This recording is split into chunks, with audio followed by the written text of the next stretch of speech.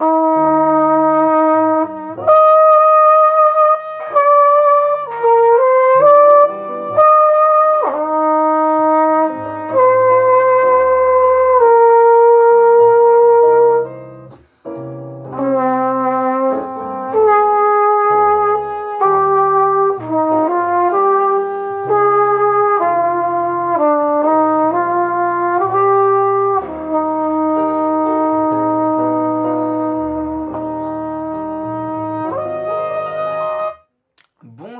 C'est Kevin, j'espère que vous allez bien.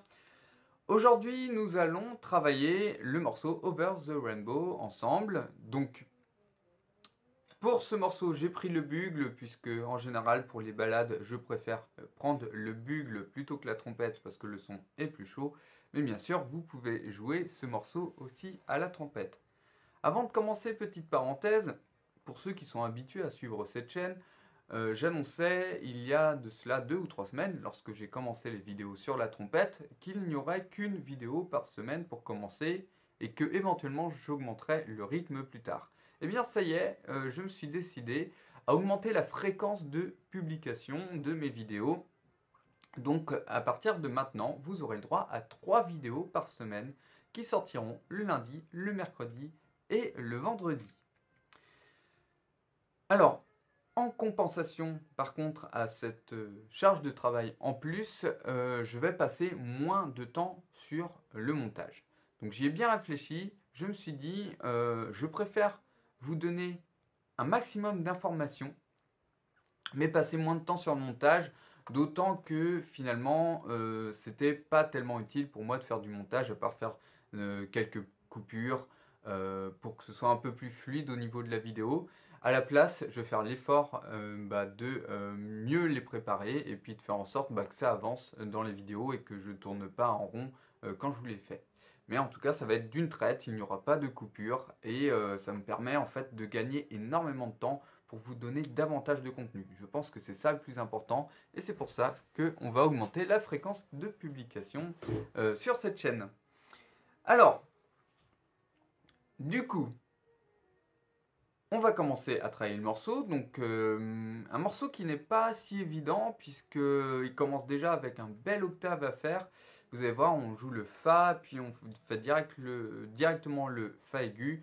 Donc je vous donnerai des alternatives si vous n'y arrivez pas au départ. Petite parenthèse aussi, si euh, vous n'arrivez pas encore à jouer de la trompette, ni à faire un son, et que euh, ni faire toutes les notes, voilà, si vous êtes totalement débutant à la trompette, je vous encourage, avant de visionner cette vidéo, mm, à vous inscrire au kit de démarrage de la trompette. Donc, euh, pour euh, vous y inscrire, c'est très simple, vous cliquez sur le premier lien dans la description sous cette vidéo. Et vous aurez directement accès à ce kit de démarrage. Donc, c'est une série de vidéos euh, complètement offertes où vous allez apprendre eh bien, les bases de la trompette pour jouer correctement et avec euh, des bases solides pour ne pas vous blesser aussi, notamment avec les lèvres, euh, puisque voilà, ça, demande beaucoup de tension, la trompette. Donc pour éviter tout ça, et puis pour euh, voilà, démarrer dans de très bonnes dispositions, j'ai créé, créé ce kit de démarrage de la trompette.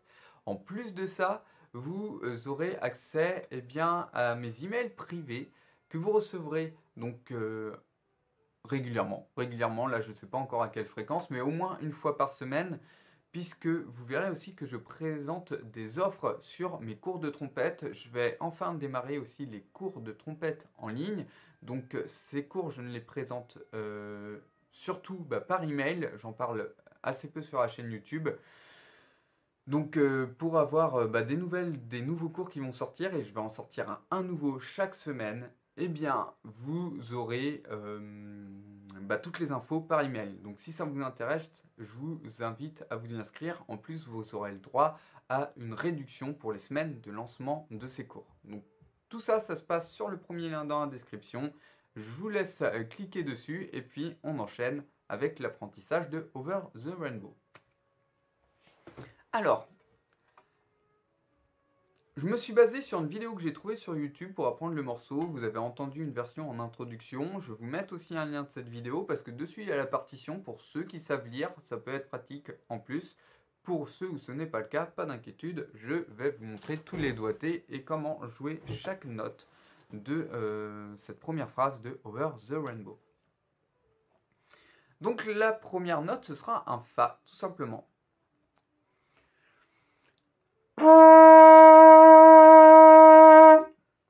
La deuxième note, c'est à nouveau un Fa, un Fa, mais l'octave du dessus. Donc là, je sais que pour les débutants, tout le monde n'atteindra pas forcément cette note, cette note, pardon. Donc pour faire simple, nous allons garder l'octave du dessous. Donc vous allez faire deux, deux Fa de suite.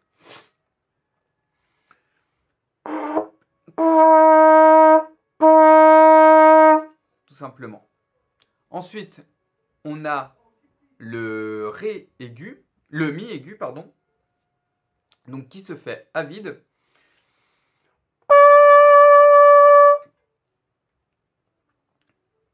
Donc je vous laisse jouer cette note. Si jamais c'est trop dur, vous avez le droit d'octavier. Et dans ce cas-là, vous le faites dans le grave, ok? Et vous ferez le Mi 1 et 2.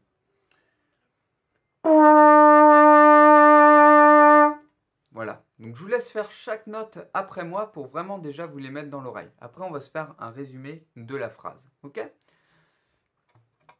Donc ensuite, on va enchaîner les notes Do, Ré et Mi. Donc dans l'aigu tout d'abord. Donc Do, le Do qui va se faire à vide, le Ré au premier piston et le Mi à vide.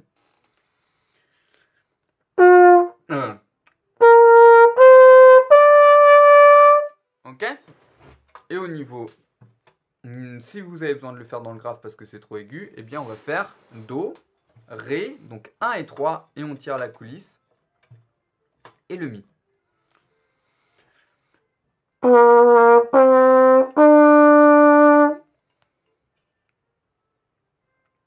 Ensuite, on a un Fa aigu,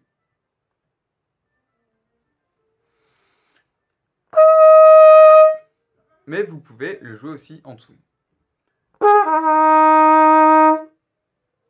Ensuite, on a un Fa médium, puis un Ré aigu qui se fait toujours au premier piston, que vous pouvez faire aussi dans le grave. Et puis, vous avez un Do aigu. Que vous pouvez faire dans le grave aussi. Donc, je vais, on va enchaîner gentiment cette première phrase et on va tout faire dans le grave pour que ce soit simple pour tout le monde. Pour ceux qui ont les capacités, vous ferez plus aigu, mais surtout ne forcez pas le son. Si ça ne sort pas, vous faites tout dans le grave aussi et ça suffira amplement. Donc la première note, je ne vous l'ai pas montré, mais ce sera euh, du coup un Fa grave que vous ferez euh, que je dise pas de bêtises. Ah bah non, on peut pas la faire dans le grave celle-là. Excusez-moi. Donc on garde euh, la toute première note, on la garde à la bonne tessiture. Et ensuite le reste on le fait dans le grave. Donc ça donne ça. Je fais un résumé. On fait la première note comme ça, le Fa. Ensuite, la deuxième note, on fait le Fa aigu mais on le garde finalement dans le grave. Ensuite, on fait le Mi dans le grave. Ensuite, on fait Do, Ré, Mi dans le grave. Ensuite, on fait le Fa dans le médium. Ensuite, on fait Fa suivant, bah, ce sera le même.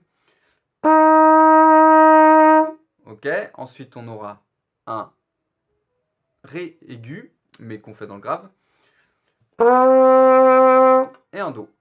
On fait dans le grave. Donc si je joue cette phrase en la mettant dans le grave pour que ce soit facile à jouer, voici ce que ça donne.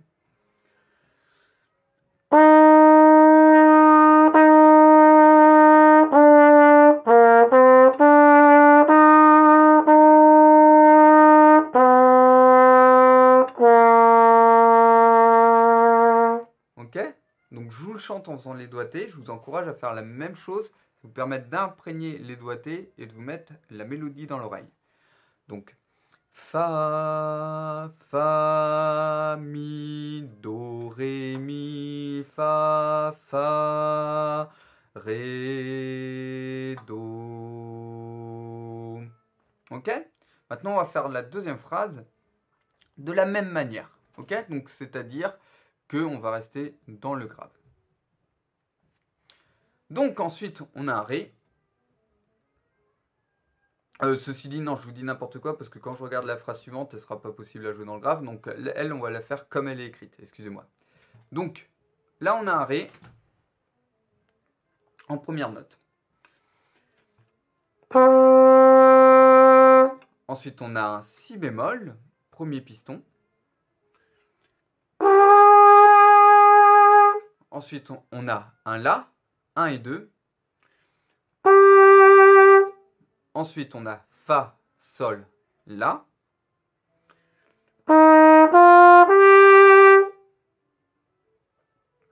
Ensuite, on a à nouveau un Si bémol au premier piston.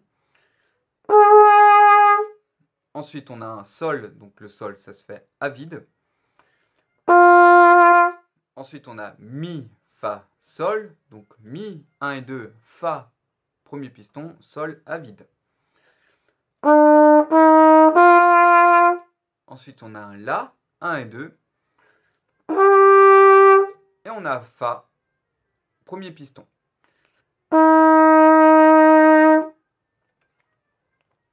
Donc si je vous joue doucement toute cette phrase, ça donne ça.